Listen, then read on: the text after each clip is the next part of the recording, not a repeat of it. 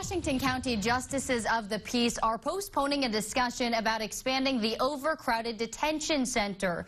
The JPs say they need more information before backing a proposed sales tax funding plan that would pay for the construction. Good evening. Thanks for joining us. I'm Chelsea Helms.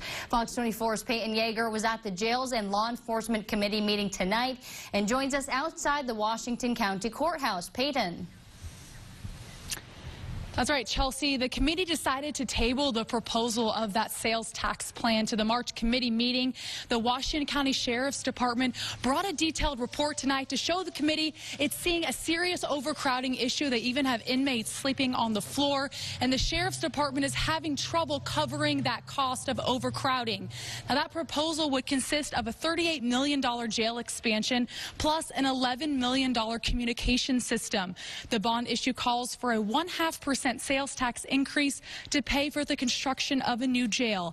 A separate one-half percent sales tax will be added to install the communication system.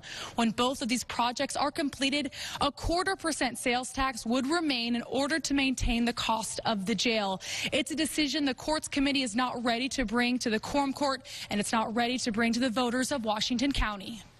It seems to me like this just came out of, uh, just came up recently, and even though the sheriff says it's been going on, I just think we need to step back and uh, view all the options. There's a lot of other things we could do besides just expand the jail, and that's what I was talking about tonight. And I, that's what I gave the quorum court to the committee members with some options that we need to follow to before we just jump in. I get frustrated because this discussion has been going on publicly, in front of the public, in public forums for over four years. I've talked to civic organizations, I've spoken publicly here, to really tell them that we this is not a new crisis that we're in. It's only ramped up because Springdale's going to close their jail in less than a year. We're already releasing nonviolent offenders, misdemeanants, at the rate of 200 plus a month. Now, Chelsea, within the next month, the JPs plan to continue to tour the jail to get some more information as well as meet with the full quorum court. And they hope to have a public forum with the homeowners in Washington County to get that information out there. We're live in Fayetteville. Peyton Yeager, Fox 24 News. Peyton.